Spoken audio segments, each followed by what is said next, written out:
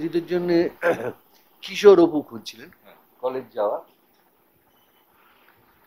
তো আমার এক বন্ধুর বন্ধু ছিল ওর অ্যাসিস্ট্যান্ট নিতাই দত্ত নিত্যানন্দ দত্ত। সে ওই আমার বন্ধুকে নিয়ে একদিন আমার বাড়িতে বাড়িতে আসছিল বাড়ির সামনে দেখা হলো। তো সে খুব ফানি আর কি। আমার বন্ধুটি আমাকে কথায় কথায় এনগেজ করে রাখতে চাইছে কিরে কোথায় যাচ্ছিস আমি বলছি, কফি হাউস চল। নাকি সারাদিন বাড়িতেই ছিলি? এরকম বাজে কথা বলছে। হ্যাঁ কেন? কি হয়েছে? না মানে কি করলি সারাদিন? আমি এসব ভাট বকছিস কেন? কি ব্যাপারটা কি? করতে করতে লক্ষ্য করলাম যে অন্যদিকের ফুটপাতে কাকে একটা সে চোখের ইশারায় কি করছে? তখন আমি ধরে ফেলে হলো কে ও? তারা তোকে বলে ও সত্যজিতের অ্যাসিস্ট্যান্ট তা ওরা ওই দ্বিতীয় ছবি এবার করবেন? অপরাজিত তার জন্যে একজন কলেজ গোয়িং অপুর যে রোলটা সেটার জন্য একজন হচ্ছে তা তোর তো সিনেমা সম্বন্ধে খুব বিরক্তি। তুই কি যাবি? রাজি হবি? দেখা করতে হবে। হ্যাঁ ওর দরকার লাগবে কেন? আমরা পথের মাচলি দেখেছি তো। হ্যাঁ। হ্যাঁ? হ্যাঁ। মানে যে সঙ্গে এসেছিল সে নিত্যানন্দ। তারপর নিত্যানন্দ আমার সঙ্গে আলাপ করে দিল তখনই ওইখান থেকে সোজা বাসে উঠলাম। দিয়ে, বাড়ি। সেটা ছিল লেক লেক অ্যাভিনিউ না লেক। Lake road. লেক রোডে বাড়িতে যেতে এই বিখ্যাত সেই ইয়ে আর ঘরে ঢুকছি উনি আমার দিকে তাকিয়ে বলে রে হে আপনি যে বড্ড বড় হয়ে গেলেন। হ্যাঁ। এটা আমি জীবনে ভুলবো না। আমি তখন এর সব কটা ইমপ্লিকেশন বুঝতে পারিনি। আমি খালি ভাবলাম যে লোকটা কাজের মধ্যে তার মন কীরকম ডুবে থাকে। হ্যাঁ তারপরে উনি এর ইমপ্লিকেশন ছিল যে আমি ভেবেছিলাম যে ওর এই মগ্নতা কাজের মধ্যে, যেটা আমাকে ভয়ঙ্কর ভাবে ইমপ্রেস করল। কিন্তু এছাড়াও যে উনি যে তখনই তখনই আমাকে দেখা মাত্র ঠিক করতে পেরেছিলেন কিছু একটা এটা আমি অনেক পরে বুঝতে পেরেছি। এ আপনি যে বড্ড বড় হয়ে গেলেন, বড় না হলে তার মানে চলতো। হ্যাঁ একটা কিছু। বড় হয়ে গেলেন, পরে যাই বসতে বললেন, বসতে বলে আমার সঙ্গে কথা বলতে পারেন তবে কথা আমি অনেক পরে লক্ষ্য করেছি, উনি নিজে বেশি বলতেন না। কখনোই না। এইসব ক্ষেত্রে। যার সঙ্গে কথা বলছি, তাকে বলাতে। সেটা ওটা অদ্ভুত মানে ওর টেকনিক ছিল। প্রশ্ন করতে পারে এমন এমন প্রশ্ন করতো যাতে তাকে কথা বলতেই হয়। আচ্ছা আপনার শিশু বন্ধুর সঙ্গে আলাপটা কি করে হলো? শিশু বন্ধুর সঙ্গে আপনার অনেক বয়সের তফাৎ। তখন আমি নিশ্চয়ই কিছু এক্সপ্লেন করতে থাকব। উনি আসলে প্রসপেক্টিভ যে অ্যাক্টার যাকে ভাবছেন তার ওইভাবে অ্যাসেস করতে। সে কীরকম কথা বলে, তার ডিকশন কীরকম, তার জীব কীরকম, তার গলার আওয়াজ কীরকম, তার ব্যক্তিত্বটা কীরকম সব কিছু সে এরকম ভাবে বললেন তারপরে আবার আসতে বললেন। আমি বললাম যে আমার যদি আরও দু তিনজন বন্ধু আমি যদি কাউকে এনে দেখাই? বলল হ্যাঁ নিশ্চয়ই। আমি দু দুজনকে না তিনজনকে নিয়ে গিয়েছি। আমাকে উনি সিলেক্ট করেননি অন্য অন্যদের সিলেক্ট করেন সিলেক্ট করেননি এইটি ভাবতাম পছন্দ অপছন্দের কথা তখন ভাবি। তারপরে আর ইয়ে করিনি। তারপরে অপরাজিত হলো। অপরাজিত গোল্ডেন লায়ন হলো ভেনিসে এবং ভেনিসে গোল্ডেন লায়ন পাওয়ার পর ওইখানেই উনি প্রেসের কাছে ইন্টারন্যাশনাল প্রেসের কাছে বললেন যে, উনি তৃতীয় ভাগটাও করবেন থার্ড পার্ট এবং সেটা যে বলেছিলেন, সেটা পরে বলেছিলেন যে তার কারণ আমি তখন ভাবিনি, কিন্তু এখন আমার মনে হচ্ছে আমি যুবক অপু কাউকে পেয়েছি। তো কারণ ওর যারা যুবক অভিনেতা স্টার নায়কের ভূমিকা অভিনয় করে তাদের খুব পছন্দ ছিল। তো আমাকে কিন্তু অন্তত তিন, চার বছর পরে আমি জানতে পেরেছিলাম ওদের উনিও বলেন ওর বাড়ির লোকেরা আমার বলেছিল যে উনি আমাকে দেখে ঠিক করেছিলেন যে third part because he thought here is someone who can do justice to this role and যেটা উনি কিছুতেই ভাবতে পারতেন না কোনো নায়কের ভূমিকার অভিনেতাকে নিয়ে করতে so that's how it all start Apu সংসারে অভিনয়ের ক্ষেত্রে উনি কি ট্রেন করেছিলেন কোনোভাবে ট্রেন করেছিলেন সেটা অন্যভাবে কিন্তু এই এই অভিনয়টা না আপনি এই- জায়গাটা পজ দেয় ওই জায়গাটার হ্যাঁ। ওগুলো কখনো বলতেন না। না। তার কারণে আপনি নিজে সেগুলোকে সহজাতভাবে করতে পারতেন এবং আমি নিজে তো সত্যি সত্যি সেই দিক থেকে অভিনয় সিনেমায় প্রথম করতে এসেছি বটে কিন্তু ছোটবেলা থেকে অভিনয় করি। তো উনি আমাকে তৈরি করেছিলেন অন্যভাবে সেটা বোধহয় আমি বলেওছি অনেক জায়গায়। যে উনি প্রথমে তো আমার বললেন আপনি ভালো করে উপন্যাসটা পড়ুন যদি উপন্যাসটার সঙ্গে হ্যাঁ। আমার চিত্রনাট্য কিছু মিলবে না। আমি অনেক অন্যরকম করে করব। তারপরে যখন অবসংসারের চিত্রনাট্যটা হলো প্রাথমিক খসড়া ফার্স্ট ড্রাফট এই বলি টাইপ ছিল। উনি নিজেই টাইপ করতে। ইংরেজিতে ইংরেজিতে ছিল। ডায়ালগগুলো বাংলায়। এবং সে উনি ডায়ালগ তার আগে ডায়ালগ নিজে লিখতে শুরু করে বুঝতে পেরেছিলেন যে ওর ডায়ালগ রাইটারের দরকার নেই। কারণ গোড়ায় এর জন্য ডায়ালগ রাইটার ছিল। পথের পাঁচালী পথের পাঁচালী না অপরাজিতের জন্য ছিল আমি জানি। আচ্ছা। কিন্তু অপরাজিত সেই লেখেনি কিছু। লিখলেন উনি নিজেই উনি বুঝতে পারলেন যে না আমার ডায়ালগ রাইটার দরকার। এবং অবসংসারের ডায়ালগ উনি নিজেই লিখেছেন। এবং অপসংসার অবধি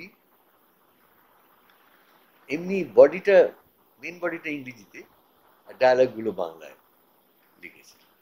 সেটা কালিতে লেখা, অন্যগুলো টাই তো সেই ফার্স্ট ড্রাফট আমায় পড়তে দিলেন। তখনও অবধি মানে অপসংসারের আগে অবধি, অর্থাৎ চারটে ছবি। চারটে ছবি। হ্যাঁ জলখাবার পরশপাথর আর- জলখাবার পরশপাথর অপরাজিত মাছলিতে এই চারটে ছবিতে কখনো কোনোদিন কাউকে স্ক্রিপ্ট আমাকে প্রথম সেটার কারণটা কি? সেটার কারণটা হচ্ছে যে উনি এই নবাগতকে তৈরি করে নেওয়ার জন্যই ওটা দিয়েছেন। উনি তারপরে একটা আরও যত শুটিং এগিয়ে এলো, তখন একটা দু ফুল স্ক্যাপ কাগজের দুটো পৃষ্ঠায় অপু চরিত্রের একটা ধারণা লিখে আমায় দিয়েছিল এটা বোধহয় জীবনে কোনোদিন কাউকের জন্য করে কেন, উনি তখন বুঝেছিলেন যে এই ছেলেটাকে উনি মানে সেইভাবে গড়ে পিটে নেবে। বেশি দাবাত ছিল না, কিন্তু অনেক রিভিলিং জিনিস ছিল আমাদের যুগের তুলনায়। আজকের যুগের তুলনায় আজকের লোক ভাবে আর কি নতুন? হ্যাঁ। কিন্তু সেই যুগে আজ থেকে পঞ্চান্ন বছর আগে একটা চরিত্রের অপু চরিত্রের ধারণা তার উপর যে নাকি প্রকৃতি প্রেমিক অমুক তমুক। তার চরিত্রের ধারণায় বলছেন যে সে বিয়েতে রাজি হলো কেন?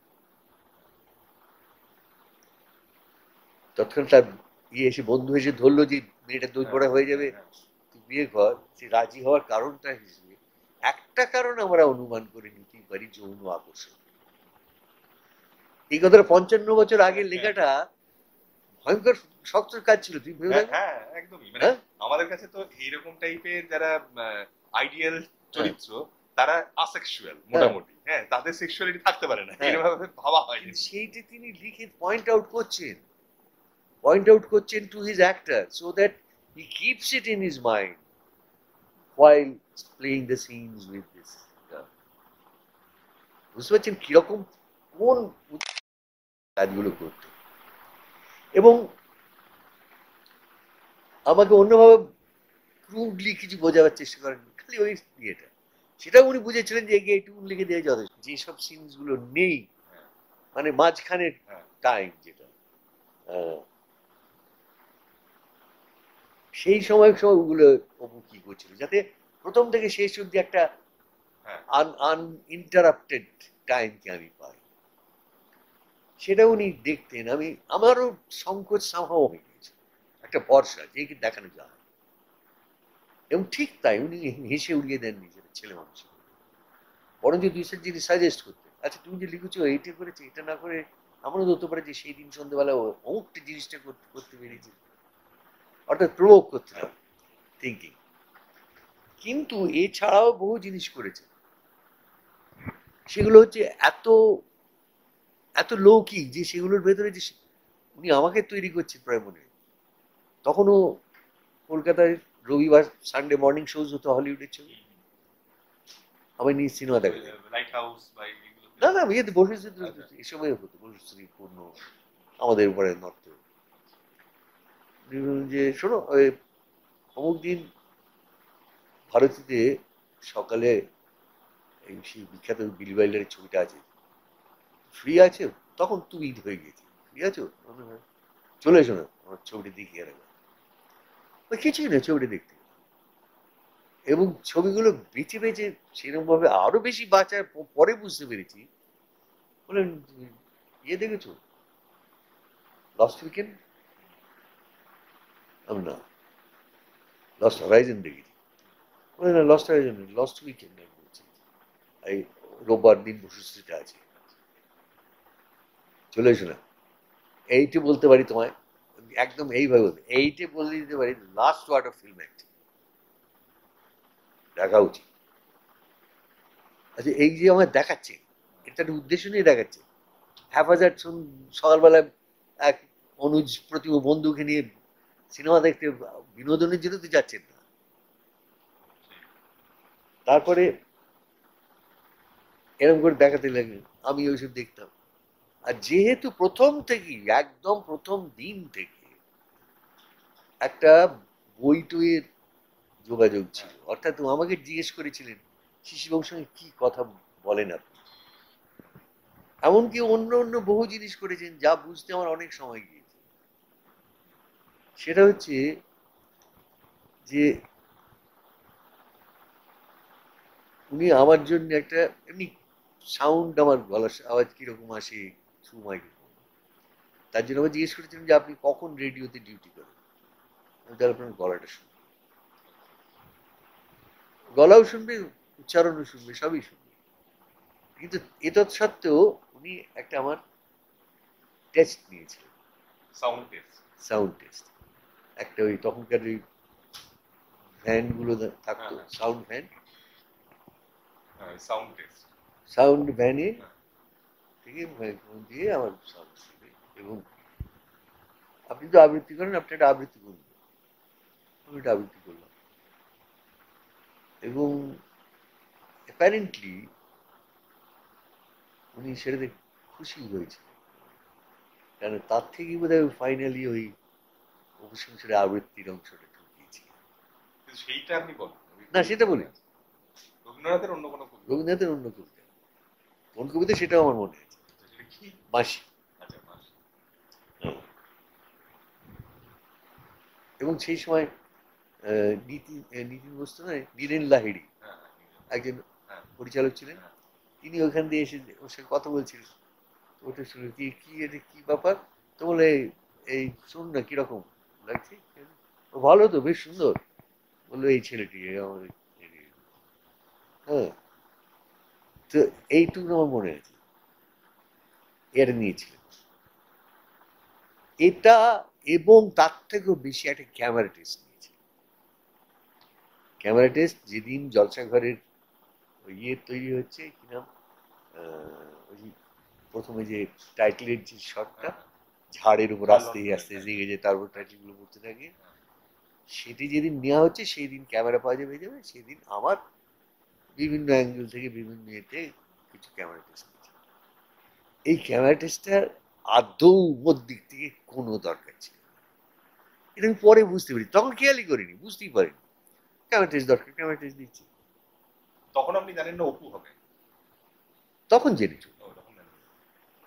যখন ক্যামেরা টেস্ট নিয়েছি। তখন জেনেছি। কিন্তু এটা ওর কোনো যে দরকার ছিল এটা তখন বুঝিনি। উনি তার ঢের আগে ওর স্টিল ক্যামেরা উনি খুব ভালো স্টিল ফটোগ্রাফার ছিলেন তো। ওর ছবি তো বিদেশে হ্যাঁ। ইন্টারন্যাশনাল ইয়েতে যেত। সেই লোকটা অত বড় ডিরেক্টর অত বড় শিল্পী সে আমার মুখ কি আসবে তার দেখার জন্য বাই করে অন্তত চল্লিশ পঞ্চাশ স্ন্যাপশট যাকে বলে নিয়েছিলেন। সেগুলো দেখেছেন সমস্ত জানা হয়ে গেছে। তারপর ওরা নিয়েছিলেন কেন? ওর কিছুর দরকার?